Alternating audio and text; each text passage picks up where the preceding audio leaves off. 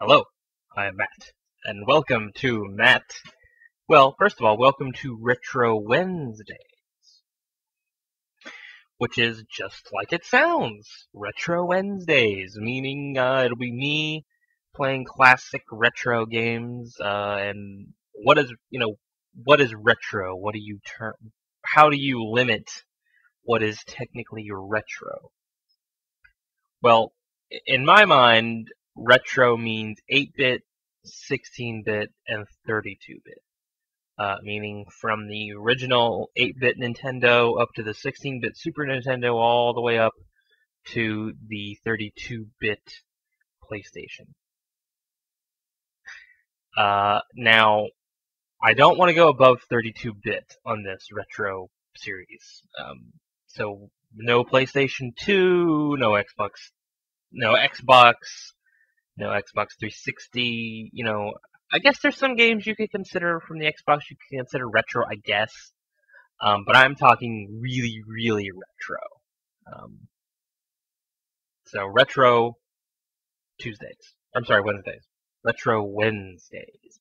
Now, I had a difficult time trying to decide which game to play for Retro Wednesdays. I, I originally thought about um, the original Metal, the, not the original, the first Metal Gear Solid game, and I still might do that. Um, but but I went through a lot of different ideas: Metal Gear Solid, Castlevania Symphony of the Night, Super Castlevania 4, any of the Castlevania games really that came out in the, in the 32-bit, 16-bit, or 8-bit era. Um, but finally, I decided on Final Fantasy IV. I know it says Final Fantasy II, um, but actually, when it was released, when Final Fantasy IV was released here in America, it was actually released under the name Final Fantasy II because of the fact that um, Square did not release Final Fantasy II or 3 over here in America. So when 4 came out, it was labeled as Final Fantasy II.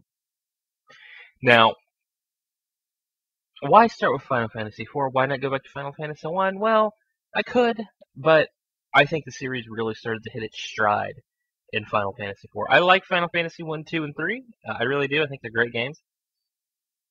But I think 4 was when the series really started hitting its its its stride. And you'll see why when we play uh, Final Fantasy 4 and then up through Final Fantasy 9, I think this or well, dang, I like 10. Up through Final Fantasy 10, I think the series has been really on was really on a roll. Uh, so anyway, enough jabbering. I uh, I'm I'm playing on an emulator, obviously, but my Final Fantasy II cartridge is somewhere around here. I'm not sure where. Um, but let's do it. Love that music. Now, Final Fantasy IV, is the thing I love about it, it takes you right into the action. No time for messing around.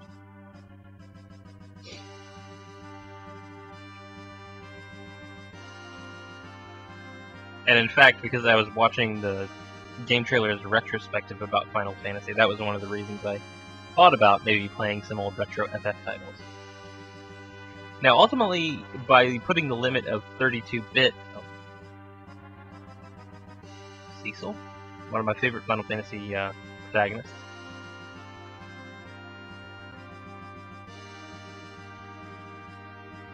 Yeah. and you'll see why that is as, as we move on.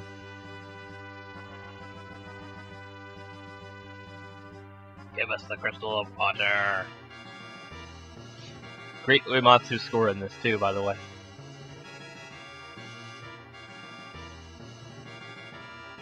Take it by force.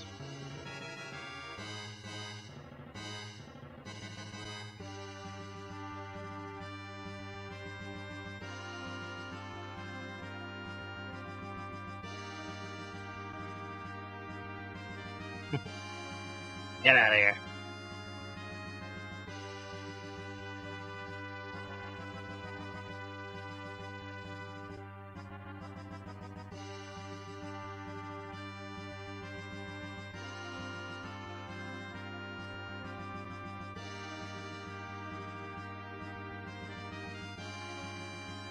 Hmm, doubt from Cecil.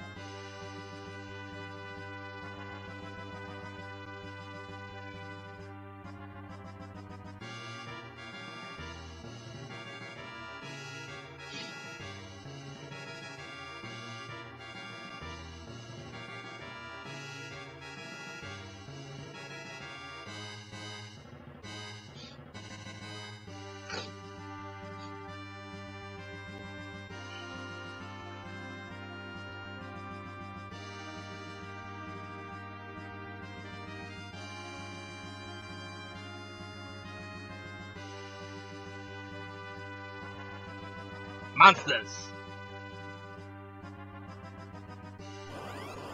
They don't have much control over what goes on here. Um, basically, the AI takes control of it. Give my killer pop.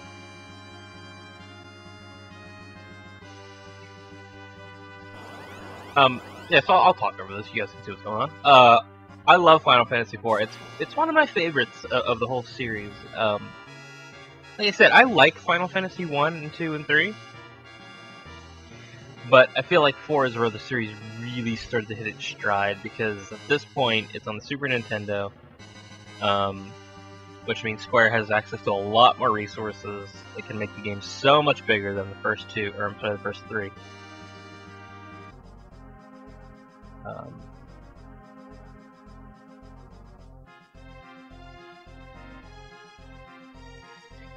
yeah, so I think uh, characters like Cloud and Squall, they definitely owe a bit of a debt to characters like Cecil and uh, Terra. Those kind of characters who were sort of, you know, because like I said, you know, in the earlier Final, in the first three or so Final Fantasies, I mean, it was pretty simplistic storytelling, but four is really really started to get into that sort of morally complex gray areas that are so big nowadays in Final Fantasy.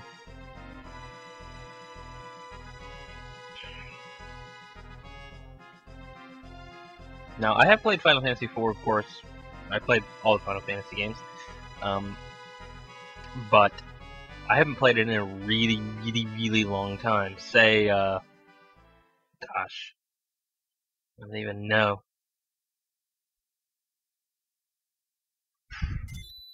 Probably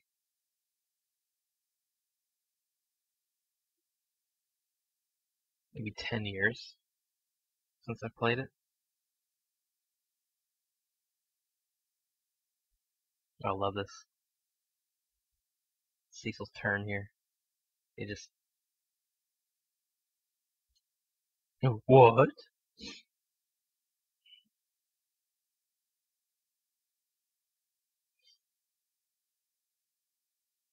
See, I love this. I love the idea that Cecil is this sort of conflicted.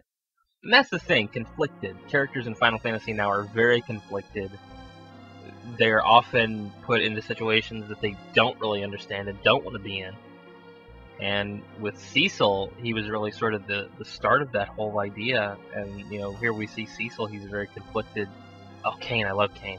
Uh, Cecil's a very conflicted character. He finds himself, you know, really going against everything that he.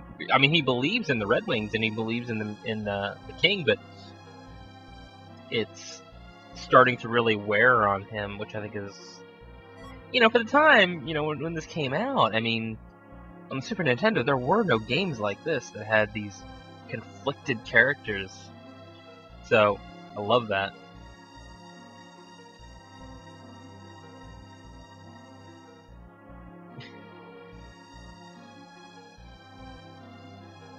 Alright. Thank you, Kain. Now, we gotta go to our room, which if we try to go out the main door, we can't get out there. So I think we can go up this way though.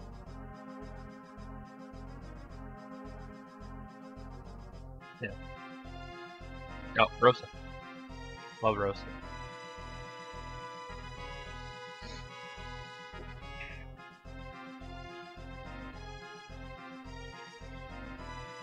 You know, there's always talk about Final Fantasy VII being remade. You know, with modern day graphics and stuff, especially because of that tech demo. Um, but I'd love to see Final Fantasy IV get a remake too. Keep all the stuff that we love. Oh, Cid! Here comes Cid.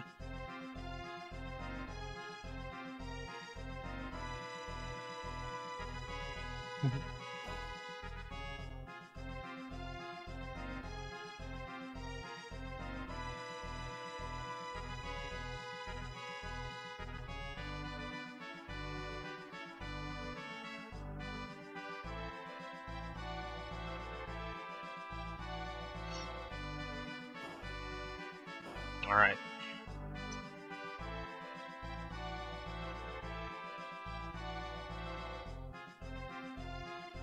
Yep, we're leaving early tomorrow morning. Me and Kain off for adventure. Let's take a nap. Go to bed. I'm tired. Tired of this.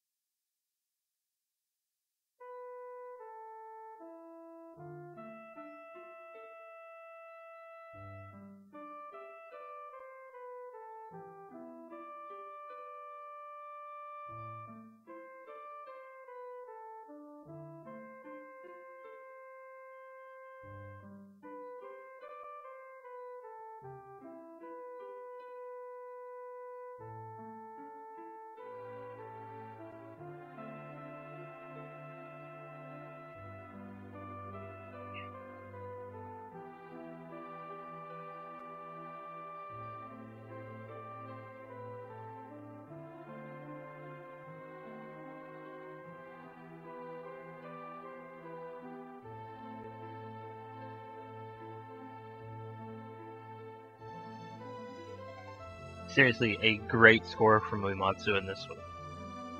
I love that. I love that line. Still, I am just a dark knight. Or Cecil. love Uematsu's score in this. It's so good. It's one of his best.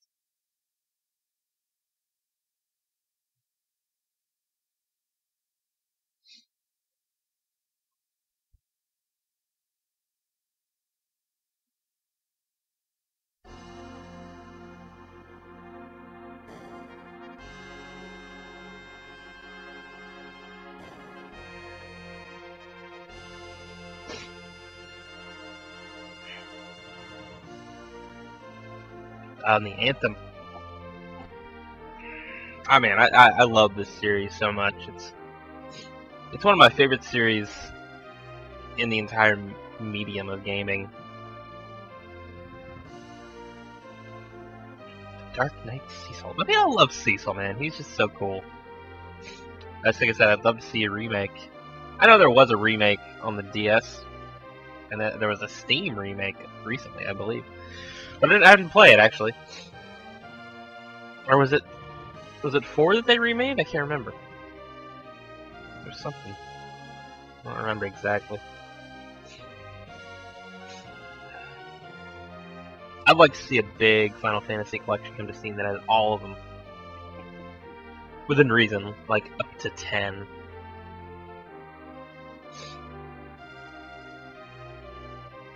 You can get Final Fantasy 7 and 8 on Steam, and you can get 12. I'm sorry, 13, not 12.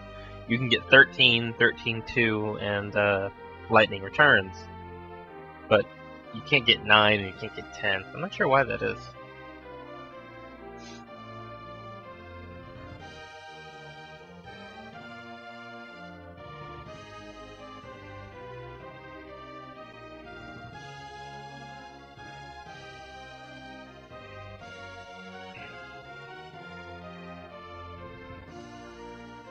I'd love to see all of them come to Steam. Really, I'd love to see one, two, three, four. I'd love to see all the mainline series come to Steam. It's not on Steam yet. Oh, this is good. Hang on. No, not this way.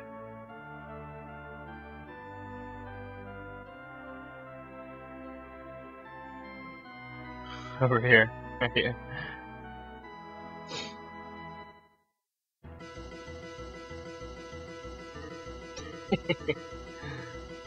Shake it.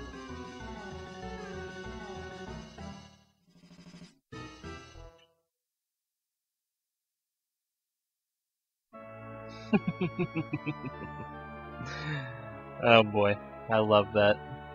It's so cool. Alright. Our objective is this away.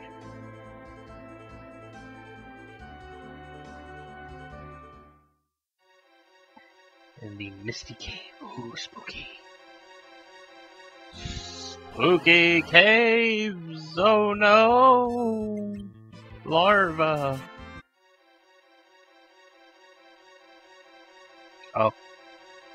Yes. This is, uh... Actually coming up on one of my favorite moments in the whole game here. Leave now! We're not leaving!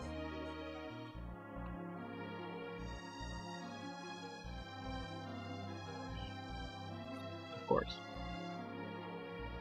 Yes. Deliver the package. Oh no! We're gonna use jump. Oh, love the boss music in this one.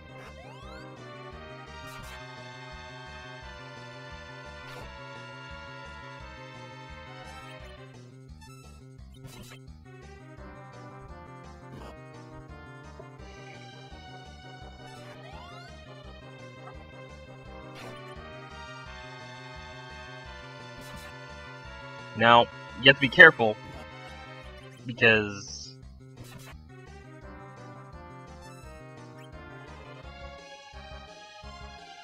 yeah, turned into mist.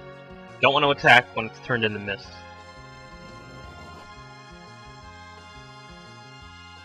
Sort of like the scorpion fight from uh, Final Fantasy VII. If you remember when you blow up the first reactor and you fight the big red scorpion, the robot scorpion. When it raises its tail up, you don't attack it.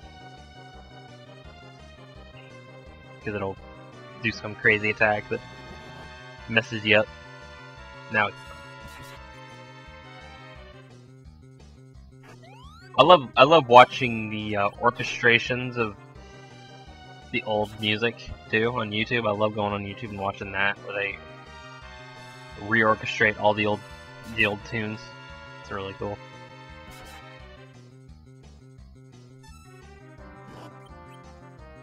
Be able to get another attack in here. Always nervous about committing to an attack.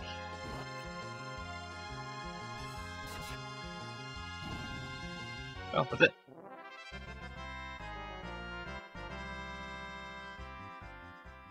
Alright.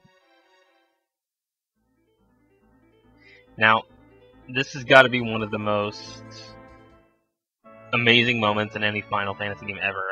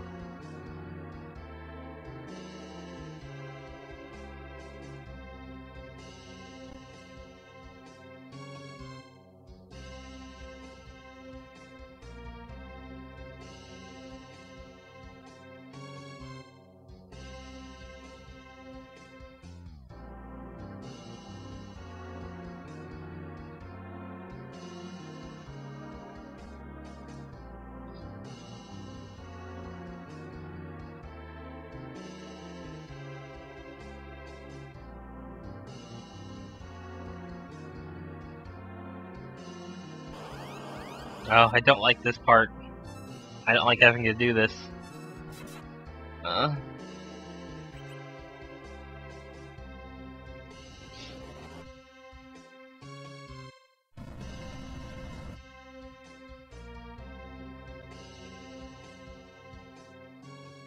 I know it's like super short, I just don't like having to hit her.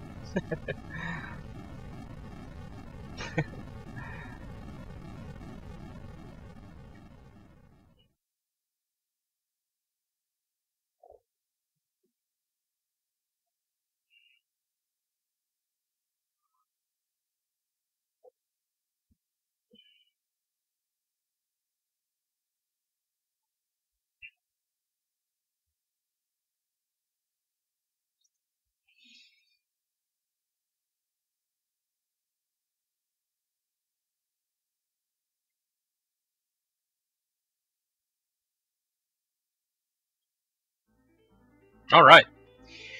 Well, that seems like a pretty good place to uh, stop here. Um, we've accomplished quite a bit, and this only this is just the beginning, guys. This is one of my favorite games ever. Like I said, I haven't played it in about ten or so years, but um, it's just one of my most cherished, treasured games ever. And I can't wait to keep playing it and it's Wednesday as I'm recording, so I'll be uploading today. Uh, but I really can't wait to keep going with this. And like I said, it's just the beginning. This is just the beginning. It gets it gets even more incredible after this. So until next time, I've been Matt. This has been Final Fantasy IV, and we'll see you in the next one.